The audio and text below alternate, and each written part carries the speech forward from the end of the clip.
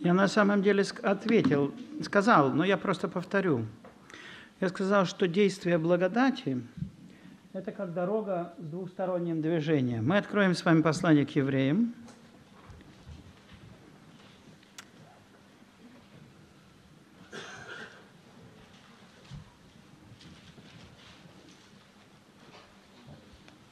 Восьмую главу.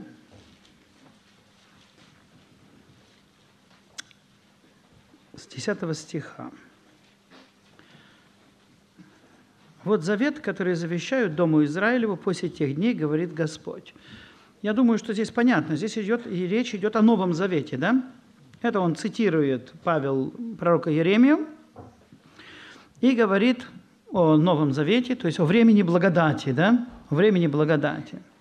Вот завет, который завещаю Дому Израилю после тех дней, говорит Господь, вложу законы мои в мысли их, и напишу их на сердцах их, и буду их Богом, и они будут моим народом. И не будет учить каждый ближнего своего, каждый брата своего, говоря, познай Господа, потому что все от малого до большого будут знать меня, потому что я буду милостив к неправдам их, и грехов их и беззаконий не воспомяну более. Значит, это 10, 11, 12 стих. Здесь коротко изложено, коротко изложено через пророческое слово суть того Нового Завета, который мы имеем в Иисусе Христе. То есть завета благодати. Здесь коротко изложена сущность, суть самой благодати. Благодать, ну, знаете, некоторые говорят, благодать – незаслуженная милость. Но, во-первых, милость не бывает заслуженная. Вот. Во-вторых, конечно, благодать незаслуженна, но это немножко примитивное представление о благодати. Если вы откроете вторую главу к Ефесянам, то вы увидите там описана благодать. Благодать – это сверхъестественная Божья помощь, данная нам для возрождения и освящения. Благодать – это совокупная работа любви и Духа Божьего, благости Божьей в наших сердцах. Благодать – это присутствие Христ... Бога во Христе в наших сердцах. Можно сказать так, что великий, всемогущий, святой, бессмертный Бог не пожелал, чтобы мы грешные, слабые, смертные люди погибли и остались вдали от Него – и поэтому Он приготовил нам встречу. И в этой встрече Он приготовил нам дар себя самого в лице Иисуса Христа. Вот это и есть благодать. То если мы не хотим, э, то действие благодати всегда носит двухстороннее движение. Она учит, вложу законы в мыслях и в сердцах их, и она открывает нам прощение. Не вспомню больше грехов. То есть она возрождает нас, открывает нам доступ в Боге, и она явилась благодать спасительная и научающая. Очень многие люди, они готовы принимать благодать, несущие им прощения, приятные чувства, но очень мало направляются к тому, чтобы эта благодать также проявила себя как научающая. Такие люди, в общем-то, они превращают благодать в повод к распутству. Ну вот это коротко я сказал.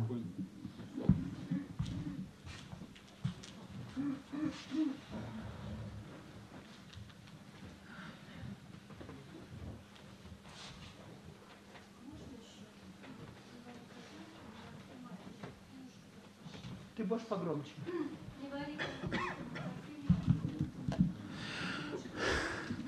Но я практически все сказал. Мы никогда не можем использовать слово, которое дано нам для жизни, для наставления, да? применять его к другим людям, чтобы получить что-то корыстное. То есть молоко, которым козленок должен питаться, это не соус, которым можно сварить. Понятно? Или не очень? Корыстное – это все, где я хочу получить выгоду. Это не только деньги. Не только... Ну, от человека я хочу что-то корыстное. Но мне вот хочется, например, мне вот хочется, ну, что сказать. Ну, я приведу вам другой пример. Это был один брат, и у него такая немножко сложная была жена, и он все время ее пытался перевоспитывать. И однажды приходит ко мне и говорит – Ричард, мне такой сон приснился, что я варю свинину в молоке и этим ужасным варевом пою свою жену. То есть он использовал высокоморальные слова, каким должен быть христианин, с вполне конкретной целью – заставить ее сделать, что он хочет. Понятно? Да, да любовь не ищет своего. То есть варить козленка в молоке матери – это использовать как приправу для себя, для корыстных целей. Что-то, что должно на самом деле давать жизнь. И это очень плохо. Но мы так иногда делаем. Говорим какие-то моральные слова, высокоморальные на самом деле, подразумевая, что мы хотим, чтобы человек вел себя таким образом, как нам хочется. И это плохо. Понятно?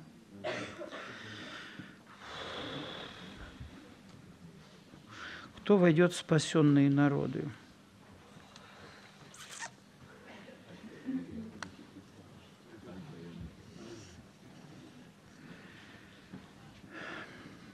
Я думаю, что вечность... Я, я не могу сказать все, кто войдут в спасенные народы, понимаете? Я могу сказать только одно, что когда Христос придет, то церковь, святые Его, они войдут в Новый Иерусалим, да? И, безусловно, существуют люди, о которых трудно сказать, что они войдут в церковь. Но не всегда, может быть, можно сказать, что эти люди погибнут. Я вам самый простой пример приведу. Самый простой. Абортированные дети. Что с ними делать? Они рождены от нечистых людей, да? Никто не рождается чистым от нечистого. В этом смысле они в церковь вроде войти не могут.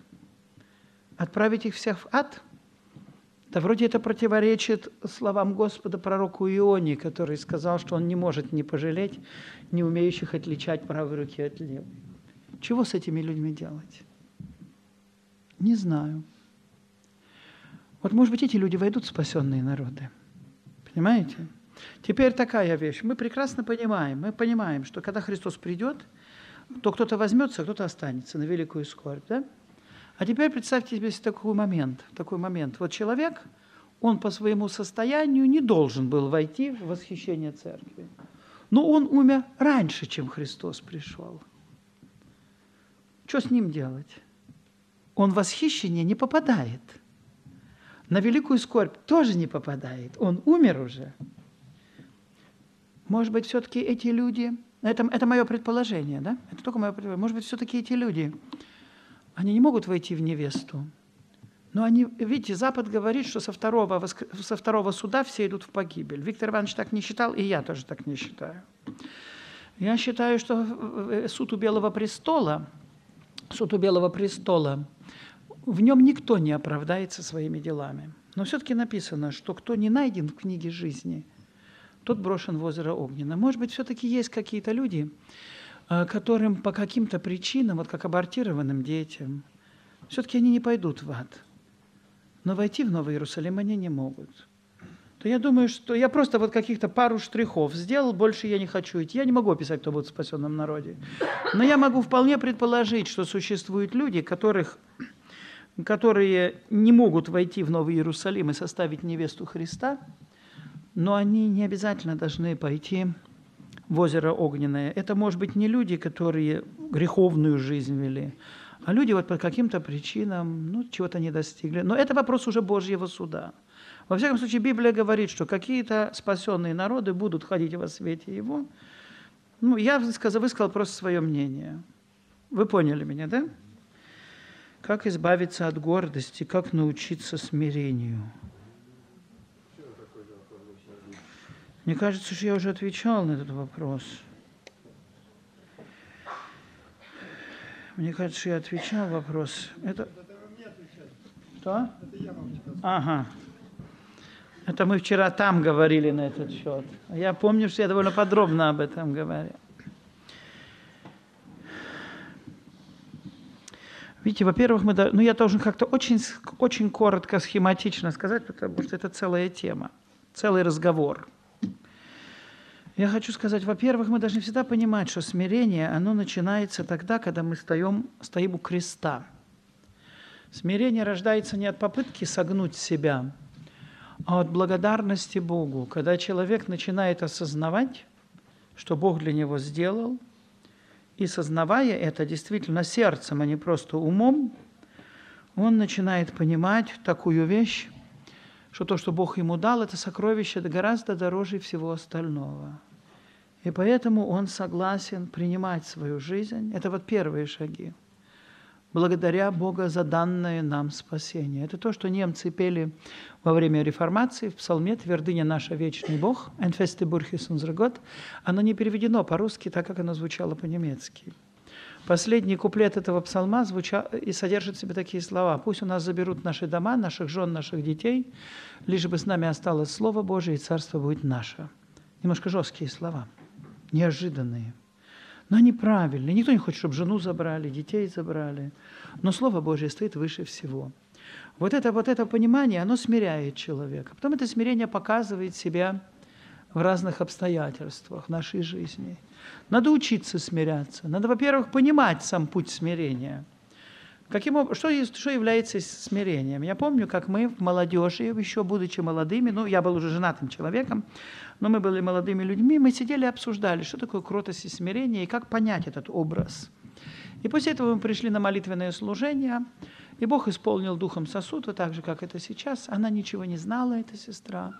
Из нее прошло слово. Дети мои, вы рассуждали, как научиться кротости и смирению. У этого есть только одна возможность. Посмотрите на меня, ибо я кроток и смирен сердцем. Это подражание Господу. Это действие в Его духе. Да? это умоление, это почитание другого высшим себя. Вот, это нужно понимать. Это принятие своего пути. Я уже приводил это много раз, это, этот стих, который мне очень нравится, из Августина Блаженного, его высказывание, что всякий человек, который просит Бога послать ему смирение, он должен знать, что он просит Бога послать ему человека навстречу, который будет его оскорблять. Вы это уже много раз слышали, наверное, и в кассетах, и везде. Надо превратности своего уничижения оставаться в страхе Божьем, верным Богу.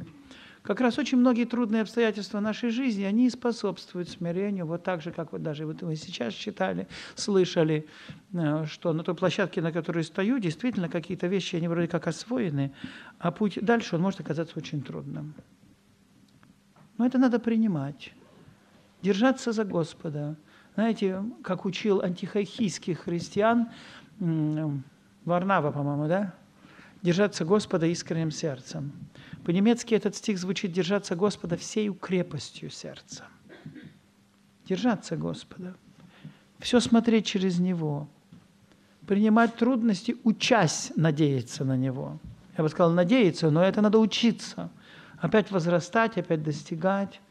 Вот. И мы должны при этом всегда понимать, что когда мы входим в эту борьбу, то мы сами не можем все.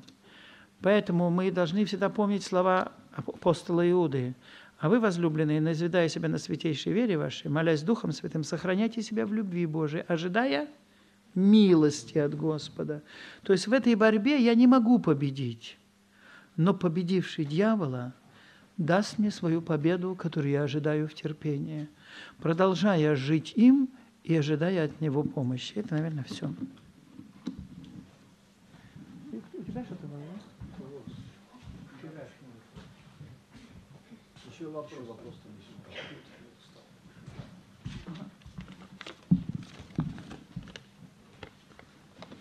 Да-да.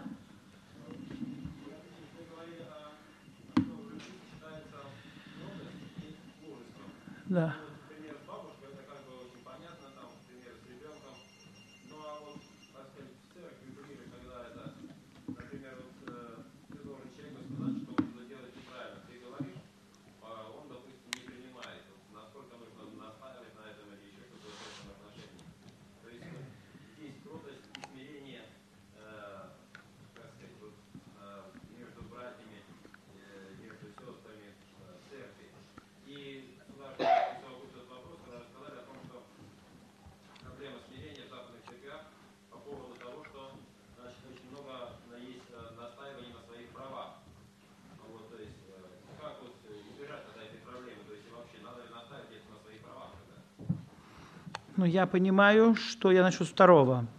Я понимаю, что христианину не свойственно настаивать на своих правах. Да? Так написано, предай Господу путь твой, Он совершит. И видит, как свет правду твою, справедливость твою, как полдень. Конечно, здесь есть, здесь существуют тоже какие-то, какие-то, скажем, определенные границы, да? Определенные границы. Мы иногда сталкиваемся с какими-то вещами, с какими-то, скажем, вещами просто, просто в этом мире, где мы какие-то вещи должны все-таки отстаивать, да? Если подойдет тебе человек и скажет, отдай мне твою всю зарплату, то это будет неразумно отдать ему. Надо сказать, это моя вещь, я тебе ее не отдам. Вот, потому что это такие вещи, они неправильные, понимаешь, да? Вот. Но вообще нам не должно быть свойственно настаивать на своих правах, поскольку написано «не протився злому, ударивши тебя одной по щеке, а подставь ему вторую». Это наш образ жизни. Это не значит, что мы превращаемся в таких своего рода безвольных тряпок. Ни в коем случае. Но все-таки это внутренний дух человека, который, если он желает быть большим, он должен быть меньшим и всем слугой. Вот это вот состояние. Понятно немножко, да? Что касается, что касается церкви, вот того, что ты сказал, мы должны говорить. Конечно, если человек этого не принимает, человек этого не принимает, то мы не должны брать его за грудки и пытаться в него это втрясти. Я думаю, что в этих вещах вообще очень важно, чтобы прежде чем нам пойти человеку что-то сказать, нам надо за него молиться. Нам надо за него молиться. Потому что, во-первых, нам надо понять, что движет нами говорить. Иногда я хочу пойти сказать человеку что-то, в чем он не прав, но меня сильно раздражает то, что он сделал. Все-таки в таком состоянии не получится человеку говорить. Если я человеку что-то говорю, то я должен говорить для его блага. Да? А эту вещь, как, может быть, я и не все могу победить, но я хотя бы должен начать наступать на эти проблемы, умерщвляя плотские дела духом. Потому что если все, что меня побуждает человеку сказать, это то, что он меня раздражает, то это плохо. Приходит и говорит, ты знаешь, у этого человека так много денег, христианин не должен быть таким богатым. Ну, я говорю, ты понимаешь, что жизнь человека не зависит от избытка набранного? Конечно, понимаю. А вот его раздражает. Я говорю, ты пришел бы ко мне домой. И у меня посреди комнаты целая гора гора прошлогодних листьев. Что бы ты сказал? Он бы сказал, я бы тебя не понял, зачем ты собрал такой мусор?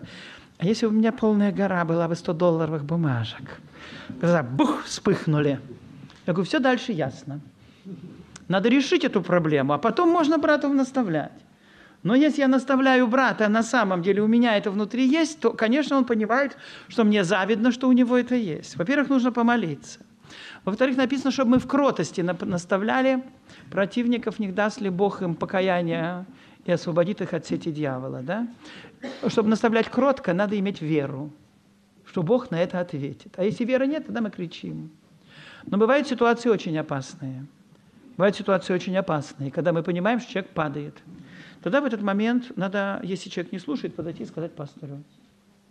Это очень плохо, если все только пастору говорится. Очень многие вещи бы решились бы, если бы не только служители наставляли, но весь народ в любви. Знаете, понимаете, человек делает неправильно. Неправильно. Вот мы так воюем, там, скажем, с, с этими разрезами на юбках периодически. Ну и все только от кафедры говорят 3-4. Ну да, потому что это такая борьба с переменным успехом. Надо честно сказать. Вроде ушло, а потом смотришь, опять что-нибудь на себя придумали, нацепили. Вот. Но если бы это говорили не только братья старшие, это бы говорил народ, сказал, и причем бы сказал бы по-хорошему, сестричка, зачем тебе это? Сестричка, ну зачем тебе это? Знаете, та же молодежь, очень, очень трудно выводить детей верующих родителей из их состояния, потому, из их плотского состояния, потому что эти ценности, они многими понимаются и превратно. А если молодой человек попадает в церковь, где плотские вещи считаются за что-то низкое, даже если человека не очень уезжают, он очень быстро чувствует себя не в своей тарелке. В этом смысле это говорит, но это должно быть не перебарщено, чтобы не превратились всех таких моралистов, которые только ходят за друг за другом, смотрят и друг друга только вразумляют, какую юбку надо одеть, какую шапку надо одеть. Но человеку надо сказать, но если это, если это опасно, надо пойти говорить братьям. Это хорошо, когда мы можем в любви не надоедливо, не раздражительно друг другу подсказывать и друг за друга молиться. Вот. Но если он не принимает, то, конечно, не надо так в толку вбивать. Понятно, да? Ва... У меня вторую половину слова. Ваше отношение к тому, что христианки стригут челки, носят обручальные кольца, носят брюки. Я не все прочитал вчера. Ну, раз он не дает, я буду отвечать. Я считаю, про челки я уже сказал – я думаю, там больше нечего говорить, я не хочу эти слова повторять. Я считаю, что брюки – это неприлично, сестры. Просто неприлично. Одежда должна быть скромной, сдержанной и неброской. Одежда дана Богом людям для того, чтобы согревать его. Это вам всем понятно в Сибири? Да. И покрывать его наготу. То есть одежда никогда не должна носить такой характер, чтобы она подчеркивала формы, объемы и сексуальную особенность человека. Существуют такие специальные наряды блудниц, что лучше человека встретить вообще раздетого, чем в этом наряде. Он очень нехороший и вызывающий. Я считаю, что существует определенная разница, и вы тоже это понимаете, между устройством тела мужчины и женщины, при котором ношение одежды, которая, которая показывает, там, скажем, длину ее ног, она для, для другого пола может быть соблазнительной. Это не значит, что я соблазняюсь. Но оно некрасиво. Прозрачная одежда, обтягивающая одежда. Или такие юбки, как они носили в Германии, я сказал, перевернутая бутылка. Она ходит тут так чуть-чуть, потому что она ходить не может. Спереди обтянута, внизу вообще просто. Я был в ужасе, когда первый раз это увидел, приехав из России. Вот. Я считаю, что это неприличная христианская одежда, также и брюки. Естественно, если сестра работает на стройке, она должна что-то надеть, потому что стоять в юбке на лесах, где снизу стоит мужчина, это вообще неприлично. Это ни в какие ворота не лезет. Но только человек должен понимать, что я сошел с этого места и быстренько переоделся. А не так, что я встречаю воскресенье, а она говорит, почему ты в брюках, а я на стройке работала. А воскресенье уже с пятницы два дня прошло то такие вещи встречаются. Это ненормально. Человек должен для себя понимать, что целомудрие – это красиво. Понятно, да? Что касается колец. Мы не при... Вот я почему сказал, я тогда буду отвечать, как я понимаю. Значит, я понимаю, что украшения в форме перстней, сережек, они нам неприемлемы. Что касается обручального кольца, то мы должны понимать, откуда это пришло. Это пришло с очень простого места. Положи меня как печать на сердце, как перстень на руку твою. Любой еврейский раввин вам скажет, что это одна из традиций, которая подарена евреями миру. Ни одна еврейская свадьба не будет признана действительно равинатом, а в Израиле существуют только евре... равинские свадьбы.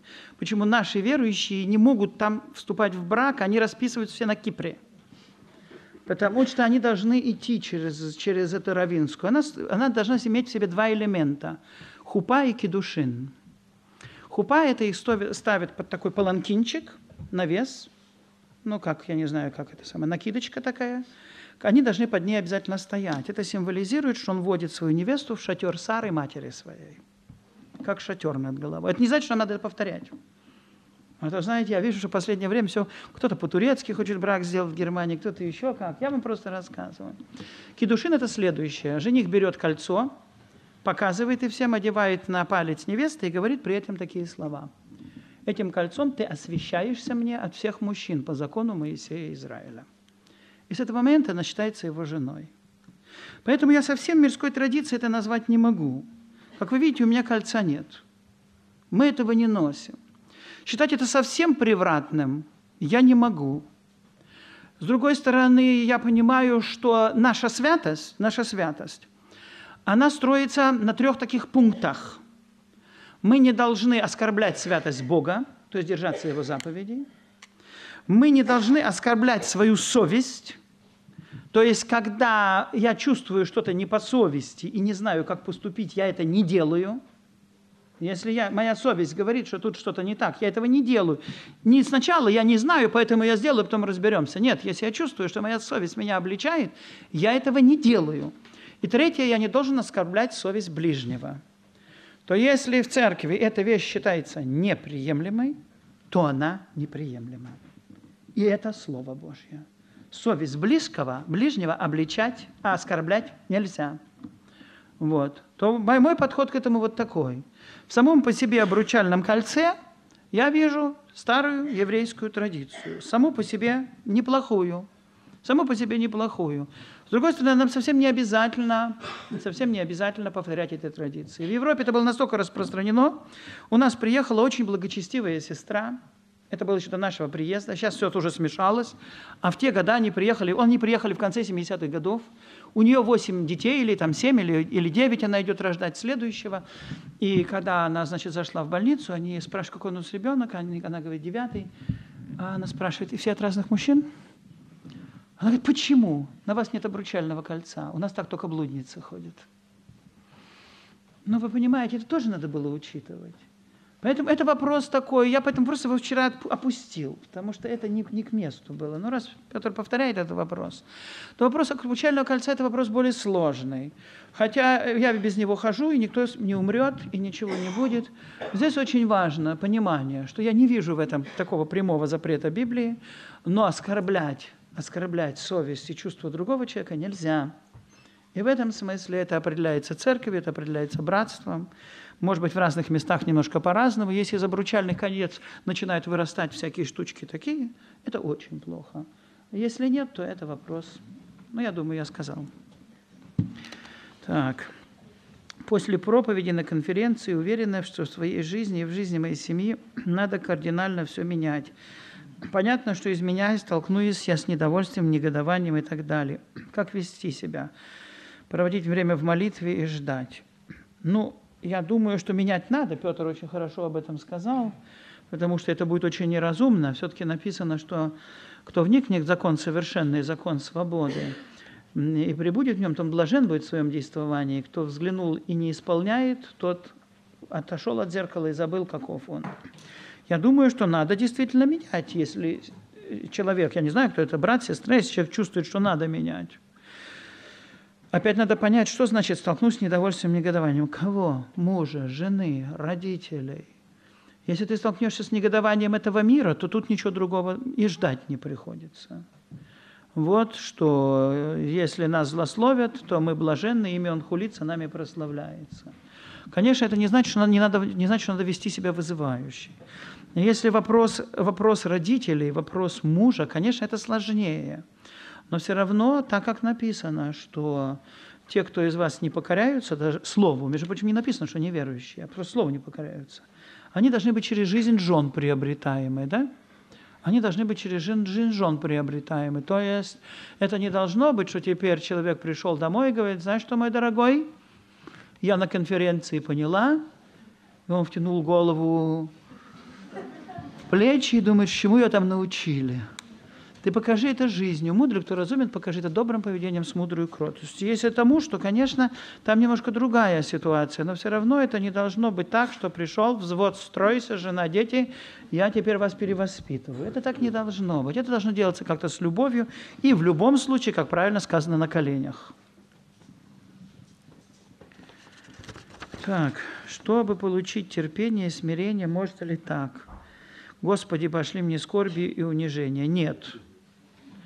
Можно сказать, Господи, помоги мне смиряться, научи меня терпению.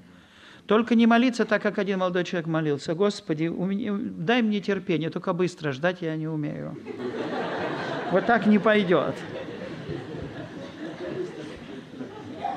Вот. И надо понимать, что Бог начнет учить. У тебя возникнут трудности, у тебя возникнут проблемы, но никогда не вызывайте на свою голову огонь.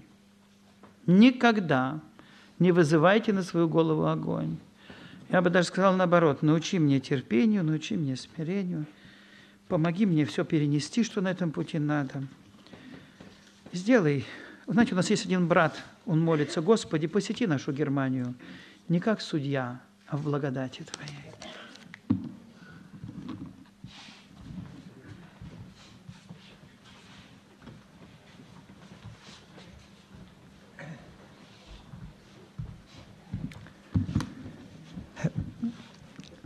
Мы решили закончить первую половину дня молитвой.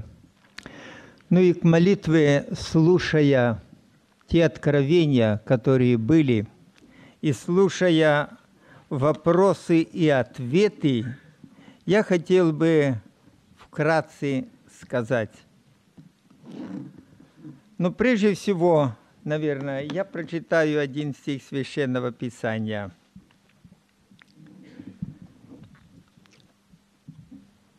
Я часто на эту тему в церквях даже говорю слово.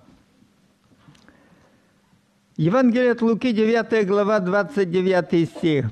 «И когда молился, вид лица его изменился, и одежда, одежда его сделалась белою блестящую». Мы потом остановим внимание. Я бы хотел несколько сказать относительно вопросов. Здесь, кажется, брат Николай задал вопрос относительно слов любви и твердости или мужества или настойчивости. Вы знаете, э, эти слова на первый взгляд, то есть без христианского евангельского смысла, безусловно, противоречат. Потому что любовь – это что-то такое мягкое, доброе, а мужество – это что-то такое твердое. Дело в том, что христианский принцип должен исходить из внутреннего состояния сердца или духа. Можно быть твердым, сияющими глазами, с любовью. Настаивать, но внутри тепло, свет и мир. Я помню, когда я был в следственном отделе, когда нас судили – он задает вопрос, я ему отвечаю. Он этот же вопрос заходит с другой стороны. Я терпеливо ему повторяю. Он с третьей стороны, он уже раздражается. Я терпеливо его повторяю. Это твердость. Но в мире понимается твердость. Ты перестань Понимаете? Поэтому любовь и мужество христиан, христианина – это совместимо, и это должно быть. Поэтому мы должны смотреть. Я часто говорю, хотя и вчера немножко останавливали внимание, не что мы говорим или делаем – а от чего мы говорим и делаем. Вот суть. И я часто говорю, когда встречаешь или слышишь не то, что бы ты хотел, и это задает, вот члены могут сказать, я часто говорю, положи руку на уста и не открывай, ибо скажешь с раздражением, с недовольствием, с обидой. Говорить и открывать уста надо тогда, когда можно так смотреть. Несмотря на то, что эти слова. Поэтому основа, основа – это внутреннее состояние или, э, как всю конференцию показывали, наше, я бы выразился словом, общение с Богом, о чем я в Барнауле говорил – Второй вопрос, на который я хотел бы отметить. Как избавиться от гордости?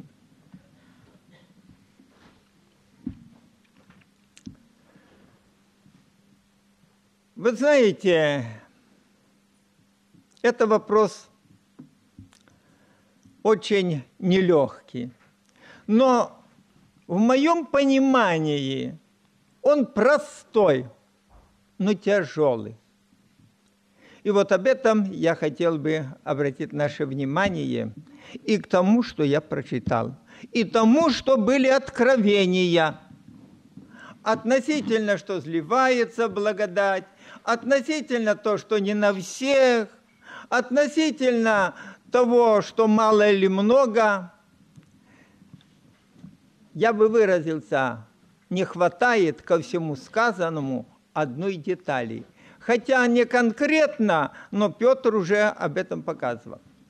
Если мы видим что-то, гордость или что-то другое, что мешает нам иметь должное состояние, важно искренно покаяться исповедоваться. Важно простить того, кто тебя обидел или на кого имеешь, или попросить прощения. Иначе можно молиться, можно находиться в такой благодати, где действует, но сердце, что значит закрытое? Это сердце, не имеющее мира с Богом и окружающими. Это на кого-то что-то имеет, недовольствие, осуждение, обиду.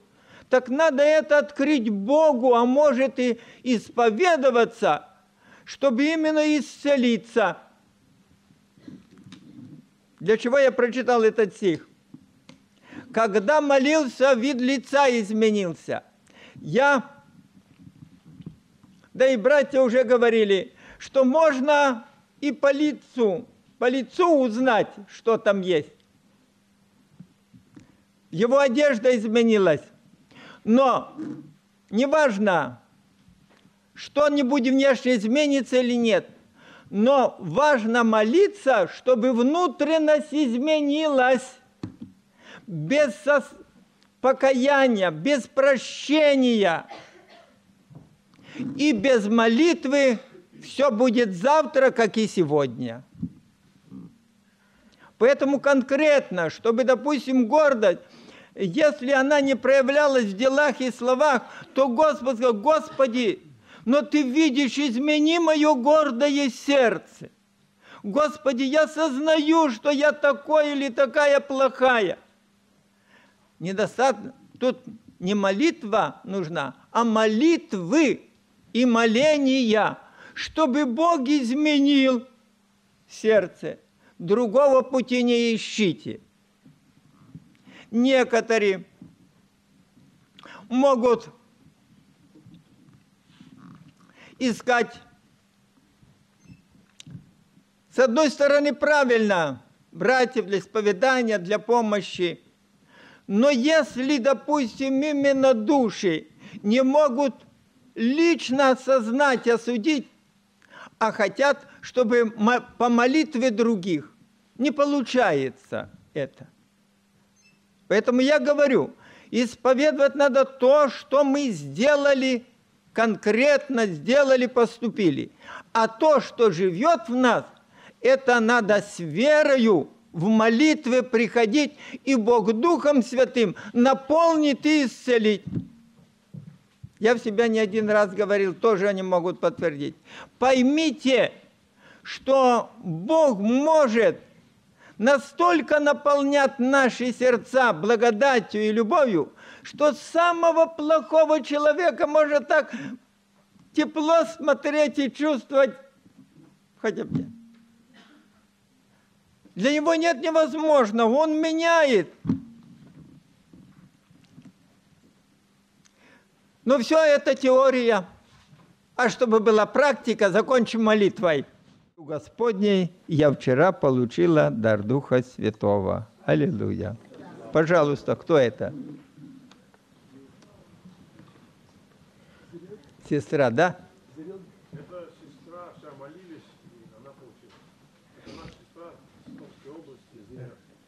Так. Благодарность Господу, что Он с нами.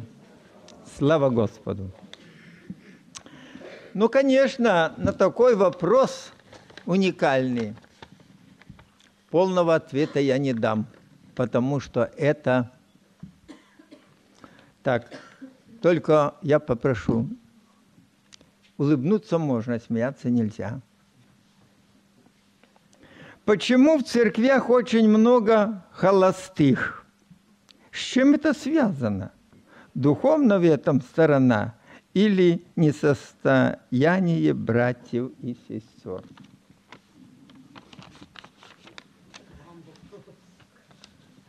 Конечно, я понимаю, что раз а, это к нашим церквям, то вопрос мой.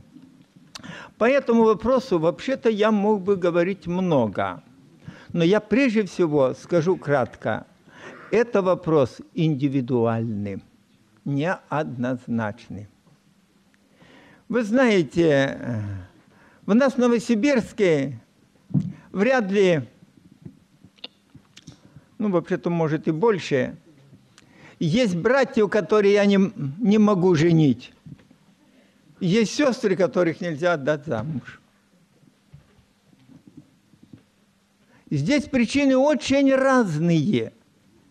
Очень разные. Хотя я бы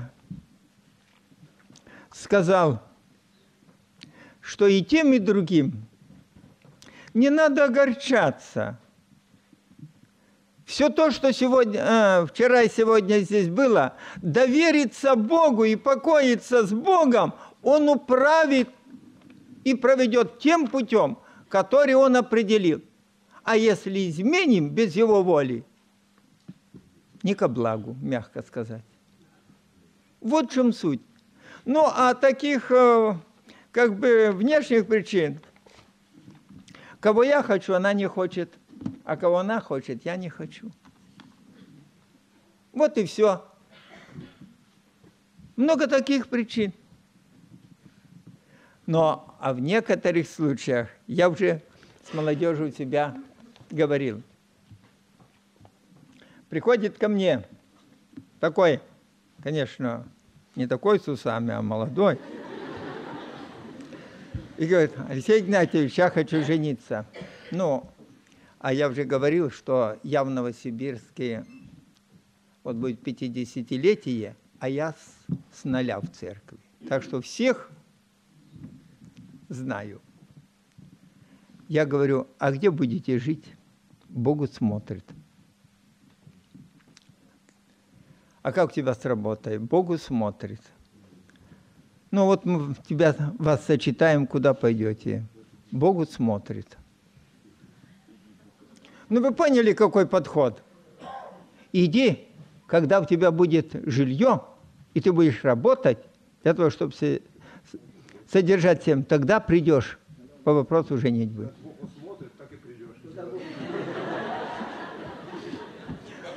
То есть подчас бывает просто несерьезные личности, несерьезный подход.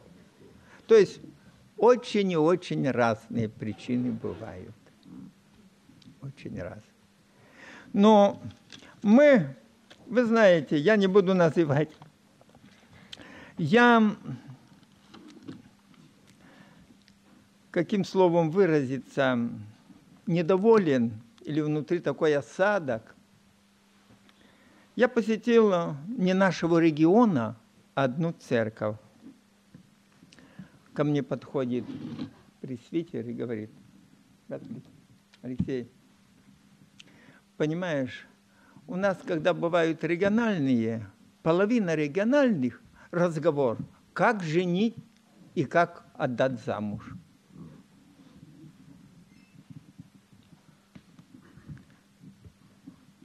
Меня это удивило. Вы понимаете? Ему самому это что мы говорить должны на региональном о Боге, о жизни и служении с Богом. Полурегионального, у кого какие есть сестры, у кого есть братья и все прочее. Очень заботятся.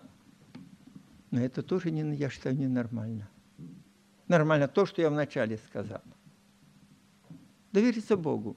Лично, конечно, у нас могут некоторые и считать меня, что я мало забочусь, но я усматриваю, стараюсь. Даже в себя записную кое-кого записываю, что есть такая там-то, там-то, там-то, забочусь.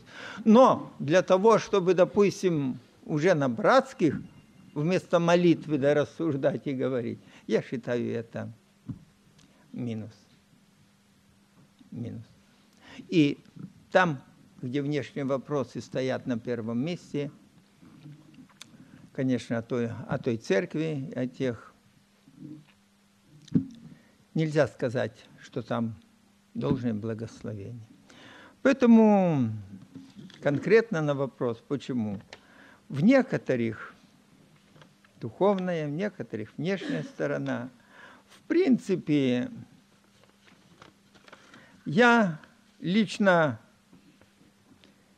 никого не побуждаю жениться или выходить замуж. Но я не, никому не возражаю, не препятствую. А некоторые есть, которые именно, знаешь, тоже не буду называть. Одна сестра была в одной такой известной церкви и говорит о таком Петре. К примеру, конечно, привожу. А говорит, у его быстро женят и замуж выдают, но зато быстро и расходятся. Я этого не хочу. Я так не считаю. Поэтому, допустим, э, в меру должно быть. На первом месте духовное состояние, служение Богу, а этот вопрос. Я понимаю, я даже вижу, вот, допустим, у нас в церкви, что некоторым сестрам тяжело. Но такие обстоятельства ничего нельзя предпринять. Ну, значит, ну не будешь же ей прямо говорить, а просто ну вижу, что так Бог ведет. Именно Бог так ведет. Душа, душа должна смириться, довериться. Может, ты добавишь, брат? Немножко. Алексей Игнатьевич уже маленько тут рассекречился. Теперь сестры будут думать, как в ваш список попасть. Я хочу сказать о том, что, конечно, как служителя, а, служители, а, то, наверное, каждый служитель имеет эту заботу и, и молится. Знаете, но есть ситуация, когда даже Бог останавливает. У нас была такая ситуация, когда мы, в принципе, дали согласие, согласие на один брак, и уже было объявление – но знаете, как-то что-то нас насторожило, поведение жениха, он все ускорял, быстрее, давайте, как-то маленько неестественно. Мы просто вознуждались, давайте помолимся, братья, что-то что как-то сердце неспокойно. И когда мы совершили молитву, знаете, а, показано откровение, я вот братьями делился в дороге, мы беседовали, а, сидит жених и невеста за столом, наряженные, а стол пустой, ни гостей, ни, ни угощений, ничего нету знаете, и там еще какие-то были подобные откровения, знаете, и мы решили, давайте мы как-то притормозим немножко, что-то уж откровение не совсем хорошее, побеседуем с обоими, чтобы как-то, знаете, и когда мы сделали небольшой тормоз, то все быстро проявилось, все быстро проявилось, этот жених взорвался, загулял, и все, в мир ушел. То есть, понимаете, а представьте, если бы а, мы бы как бы, ну, не проявили бы чуткость в этом вопросе а просто бы так бы, ну все, давайте живите, как встречается, может, давайте, все, знаете, по-человечески все созидать, то была бы беда. Была бы беда. Поэтому где-то бывает а, останавливает Бог, а где-то бывают такие ситуации, когда а, верующие, не внимая предосторожностям, научениям, а, увещеваниям, они, знаете, стремятся свое счастье сами скувать. И, и было такие у нас ситуации, когда, знаете, и даже в армию ездила сестра. Ну и что? Но поженился. Прошло немножко, он бросил и ушел. Поэтому, о чем было сказано, лишь только подчеркивать слова. Друзья мои, это судьбы, это ситуация, когда ничего не вернешь назад. Поэтому как важно доверить действительно Господу путь, доверить Господу, а может быть кому-то дано в одиночестве прожить здесь. Мы не знаем. Друзья мои, в Писании сказано, что сердце человека обдумает путь его, но совершится определенная от Господа, друзья мои. Вот в чем дело. О чем говорил брат Ричард сегодня, что Богом мы никогда управлять не будем, то Он нами управляет, друзья мои. Поэтому нужно довериться в Его руки, Господи, и помоги мне нести свой крест, как Ты определил. И, ну, конечно, желание нужно, нужно открывать и приносить, и молиться, потому что Бог устрояет, но совершается определенное от Него. Да благословит Господь. И у меня все. Сейчас послушаем, как в Германии обстоит мне было очень интересно это послушать, как у вас. В Германии это все наоборот. Они очень рано женятся и выходят замуж. Молодежь 16 у нас, к 20 их остается очень мало. там есть такие моменты, когда они караулят сестер, чтобы они приняли водное крещение 18 лет, и сразу уже тут же, сходу. Я скажу, мне отчасти нравится то, что я услышал здесь. Все-таки я думаю, что отчасти некоторые люди, они не спешат вступать в брак, желая послужить Господу. С другой стороны, я скажу, что мне, может быть, бы хотелось, чтобы люди в Германии немножко позже выходили замуж и женились, но вы себе не представляете, насколько развратная среда, в которой мы живем. И я вам ничего не скажу. Я братьям сказал, рассказал немножко. Это ужас. Это очень близко идет в сторону действительно состояния Содома. Поэтому, когда они 18 лет вступают в брак, мы, в принципе, довольны. Потому что это лучше, чем подвергаться постоянным искушениям отовсюду. Поэтому у нас такой проблемы, в принципе, не существует. Хотя все равно есть люди, Люди вообще считают, что они до 20 лет должны выйти замуж. И мне приходилось встречаться с такими случаями, когда приходили сестры и говорили, вот я разбита, я уже старая, а меня никто замуж не берет. Я только ей собрался сказать, деточка, сколько тебе лет? Она мне такое выдает. Я говорю, сколько тебе лет? 23. Все, у меня слова кончаются после этого. Это их психология, потому что они, это, это не очень хорошо. У меня у меня не, так везде, у меня вот дочки вышли замуж, где-то им было по 22-23, они спокойно относились. Сейчас выходит замуж вот эта рыженькая Ханя, ей 25 уже, а одна вышла, она очень рано вышла, ей было где-то 18 или 19 лет, по-моему, между этим. Я тоже понимаю, что там это, это так все правильно. Поэтому в Германии эта ситуация другая. Я скажу, что а, то, что отчасти, если, если это у вас связано с тем, что люди хотят послужить Господу, а, то это не так плохо. Но я все-таки бы сказал братьям. У сестер в этой ситуации нету, нет, это к сестрам не относится. Знаете, а вы все-таки этим вопросом не пренебрегайте. Я понимаю, что человек, когда он имеет дарование, как Павел, это хорошо. Но это должно быть как Павел – а не так, я лежу на диване, смотрю в потолок, я как Павел, потому что я не женатый. Это никакого отношения к Павлу не имеет. И очень во многих случаях такое легкое отношение к жизни, оно сильно вредит. А человек, когда он, вот мы замечали, что даже такие немножко легкомысленные, ну не совсем легкомысленные, такие несерьезные люди, девушки, юноши, братья и сестры, когда они вступают в брак, они сразу становятся серьезнее. Жизнь по-другому воспринимается дети, семейные отношения, то, что дети себе иногда позволяют в родительском доме, они не всегда себе позволят по отношению к жене и к мужу. Они уже что-то немножко понимают. И в этом смысле семейная жизнь, если у тебя только нету призвания действительно быть безбрачным, э, то этими вещами не надо пренебрегать и не надо, не надо думать, я как Павел, на самом деле там два пишем, два в уме, а в уме совершенно другой я пользуюсь своей свободой. Смотреть, надо, быть, надо к жизни относиться серьезно. И хотя я тоже никогда, как и Алексей Игнатьевич, никого не мог побуждать к этому, но все-таки я считаю, что особенно в трудные времена семьи очень сильно защищают людей на пути испытаний. Очень сильно. Что касается сестер, то здесь я сто процентов согласен, поскольку это не в вашем выборе, и вам не надо искать, что выбирать, то вам надо молиться. Я считаю, что церковь не должна, конечно, этого на братских обсуждать, но молиться она должна. У нас были такие служительские молитвенные в Москве, и когда мы увидели, что у нас какое-то время довольно долго не было браков, то мы провели просто посвятили одно служение целиком тому, чтобы особенно сестры, кто уже немножко постарше, вот не 23 года в Москве был, но постарше, чтобы они нашли себе семьи. И Бог в короткий срок дал нам пять браков. За это надо молиться, Богу надо доверять. Ну вот это все.